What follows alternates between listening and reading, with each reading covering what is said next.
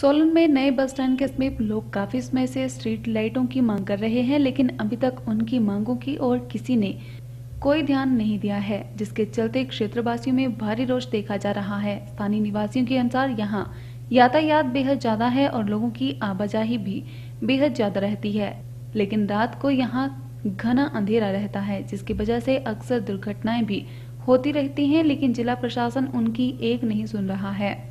नगर परिषद को भी।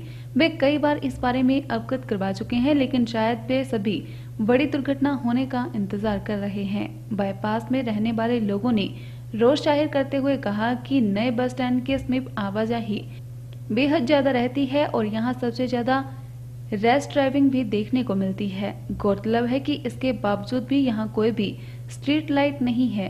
बस स्टैंड भी अंधेरे में डूबा रहता है, जिस बारे में कई बार यहाँ के पार्षद और प्रशासन को अवगत करवाया जा चुका है, लेकिन पिछले पाँच वर्षों में यहाँ स्ट्रीट लाइट नहीं लग पाई है। यही कारण है कि यहाँ अक्सर दुर्घटनाएँ भी देखने को मिलती हैं। उन्होंने कहा कि पहले यहाँ फोर लेन निर्माण का कार्य चल रहा था, अब तो वह भी पूरा हो चुका है, लेकिन फिर भी प्रशासन अपनी नींद से नहीं जागा है।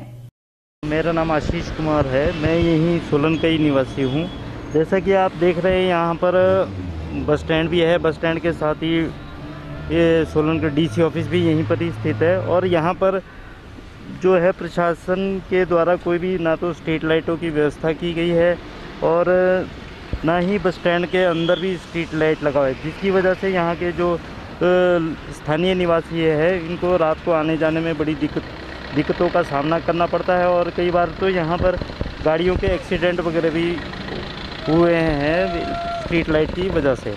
ए, लाइट तो लगनी चाहिए क्योंकि यहाँ पे क्या नाम है एक तो डीसी ऑफ़िस भी है साथ में बस स्टैंड भी है बाकी काफ़ी पेट्रोल पंप है होटल बने हुए विजिलेंस का ऑफ़िस है सारा। सब्ज़ी मार्केट के लिए यहाँ से ही रास्ता जाता है। लाइट कहीं है नहीं।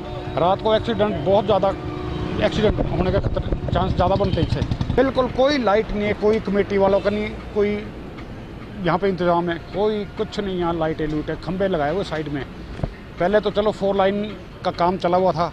फोर लाइन से पहले भी कब चार साल से मैं तो देख रहा हूँ पाँच छः साल से यहाँ पे लाइट लगाते ही नहीं। तो सामने बस स्टैंड है। तो क्या पहले भी आपने इस बारे में आवाज़ उठाई? पहले भी हमने कहा कई दफ़ा जो आते थे कमेटी वालों को भी कहा कई को मैं कहा यार यहाँ पर लाइट तो लगनी चाहिए। यहाँ के जो काउंसलर है मतलब उसको भी कहा लाइट के बारे में सफ़ाई के बारे में। कोई इंतज़ाम कोई कुछ ही नहीं का नमस्कार जी, मेरा नाम रजत तोमर है। मैं सोलन शहर में स्थानीय सोलन शहर का स्थानीय निवासी हूँ। आपने जिस बारे में बात की, वो विषय काफ़ी बड़ा है और ना तो न्यू बस स्टैंड के सामने कोई स्ट्रीट लाइट स्ट्रीट लाइट का प्रावधान है और जैसे कि यहाँ पे डीसी ऑफ़िस भी है, यहाँ ना कोई रिफ्लेक्टर लगे जिससे कोई मदद मिल सके या इससे एक्सीडेंट का बहुत बड़ा खतरा है शाम के समय, अगर स्ट्रीट लाइट ना हो। और रैश ड्राइविंग जो होती है सोलन शहर शहर में, वो तो बहुत ज़्यादा ही अब बढ़ गया है।